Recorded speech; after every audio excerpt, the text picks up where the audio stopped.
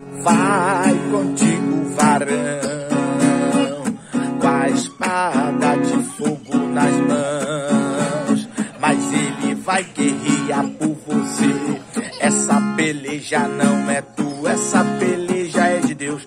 Ouço um barulho de glória, a espada de poder. O varão vai cortar laço, dá lugar para receber. Ouço um barulho de glória, a espada de poder. Vai cortar laço, dá lugar para receber. Ou vai contigo, vai contigo, varão. Ou vai contigo com a espada de fogo nas mãos. Mas ele